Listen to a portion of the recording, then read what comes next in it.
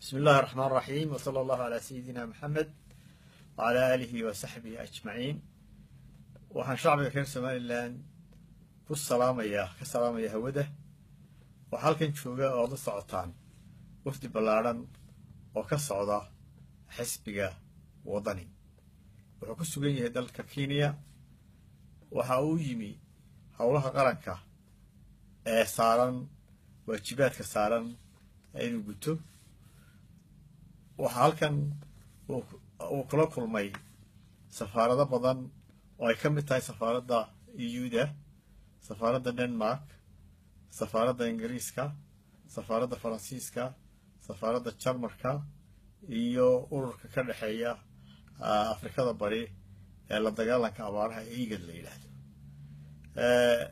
Xisbigu waxyaabaha ugu muhiimsan ee mas'uuliyiintiisu kala hadleen waxaa ugu muhiimsanaa abaaraha ku habsaday shacbiga reer somalilan oo aanu dareemayno in shacbiga reer somalilan ay dhibaato weyn ay arrintaasi ku hayso. Waxaanu dareemaynaa in xukuumadda somalilan iyo xisbiga kulmiya ee xisbulxaakimku intuba ay ka gaabiyeen fariimihii ay gaadhsiin lahaayeen beesha caalamka gaar ahaan in loo soo gurmado somalilan annagoo gudanayna waajibkaa waxaanu aada iyo aada uga hadalnay abaaraha somalilan oanu gaadhsiinay fariin adag dhammaan waddamada aanu la kulannay iyo safaaradaha aanu la kulannayba. Waxaanu kaloo kala hadalnay arrinta naxdinta badan ee ah xidhitaanka xoolaha nool ee somalilan u ahaa halbowlaha iyo lafdhabarta dhaqaalaha. Waxaanu qabnaa inay waajib ku tahay qof kasta oo muwaadina markaad iskaba dayso xisbi iyo mas'uuliyiinta kale ee qaranka. Xisbigu isagoo la damqanaya shacbigiisa. Waxa uu arrimahaas kala hadlay dalalka aan soo sheegay. Aniga oo ah guddoomiyihii baarlamaanka. Ahna musharax madaxweyne u ordaya iyo dhammaan mas'uuliyiinta culculus ee halkan maraysa ay ka mid yihiin hogaamiyaha xisbiga ay ka mid yihiin maxamed biixi yunis ay ka mid yihiin cabdirasaaq khaliif ay ka mid yihiin maxamed cismaan fadal ay ka mid yihiin ismaaciil buubaa ay ka mid yihiin safiir safiina iyo dhammaan iyo muniir oo ka mid ahaa xubin wafdiga intuba waxay ka qayb galeen kulamadaas aan halkan ka soo sheegay. Waxaa la yaab leh in mas'uuliyiinta xisbiga kulmiye iyagoo intaasoo abaari jiraan ay ku mashquulsanaayeen labaatankii cisho ugu dambeeyey ama bishii ugu dambeysay olole siyaasadeed. Waxaa ka warqabtaan safaradii ay ugu baxeen bariga. Maxay samaynayeen waxay samaynayeen meel kasta calan bay is horwadeen isagoo shacbigu haraad u dhimanaya. Waxaa la yaab leh waxay ku gabanayeen wixii laga ururiyey shacbiga reer somalilan ay ururiyeen guddiga abaaruhu ayaad moodeysay inay ku gabanayeen oo ay gabud ka dhiganayeen iyagoo markaa ku gabanayay ay ka dhigayaan wax shacbiga. Kulmiya u keenay. Arrintaasi arrin rintii shacbiga reer somalilan murugo badan gelisay bay ekaado waxa la yaab leh. In muuse biixi oo guddoomiyaha xisbiga kulmiyaah oo wixii uu ka samaynayey ee ka lahaa ololaha ka mid ahaa ay ugu dambeysay tii burco ka lahaa ee uu shacbiga ku qaybinayey iyadoo abaara ku jiraan oo ololaha cad ahayd inuu maantana ololihii u bilaabay gobollada galbeed inuu ugu baxo. Shacbiga reer somalilan ee abaartaasi hayso waxay u eeg tahay xisbiga kulmiya iyo mas'uuliyiintiisu inaanay wax dareena ka lahayn arrintaas.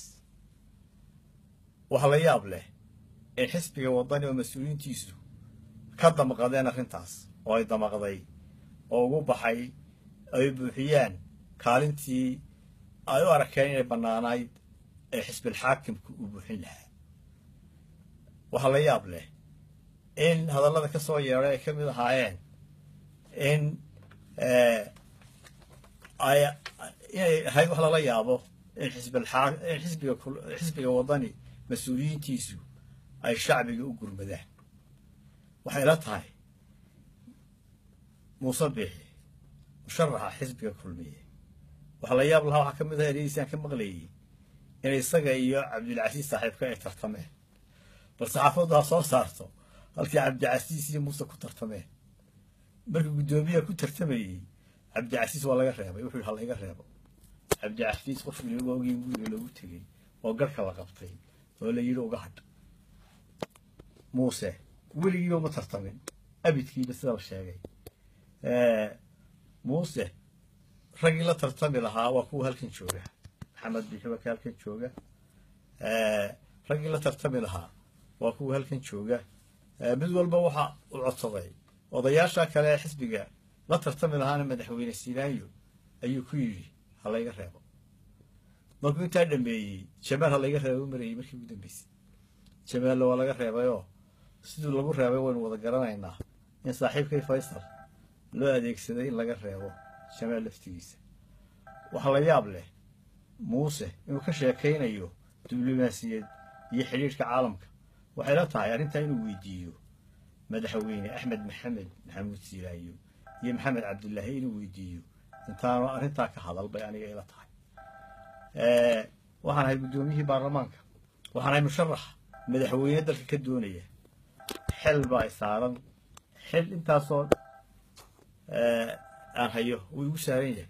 Muwaadinna waa igu saaran yahay waa damqanaya. Waxaan u sheegayaa shacbiga reer somalilan inaanu fariintoodii oo xisbilxaakimku ka gaabiyey. Muuse maalin isagoo abaar ka hadlaya maynaa arag.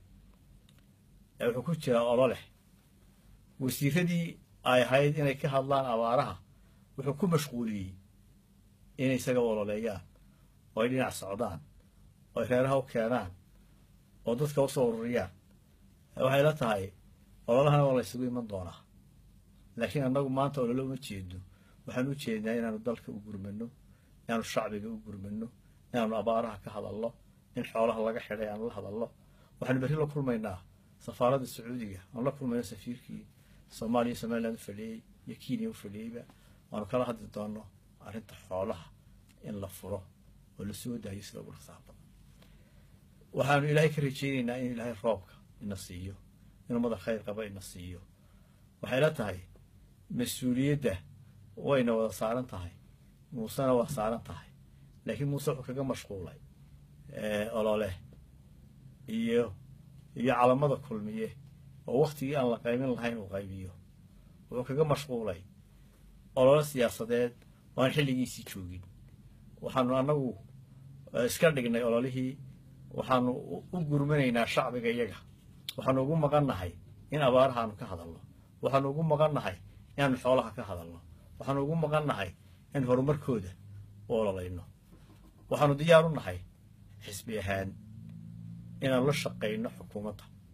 Waxaanu la shaqaynaynaa wasaaradda arrimaha dibadda aanu si buuxda ula shaqaynayno. Wuxuu kala garan laayay muuse in axsaabtu ay xaq u leedahay inay wakiillo ay magacowdo aad baa umahadsan yahay shacbiga reer somaliland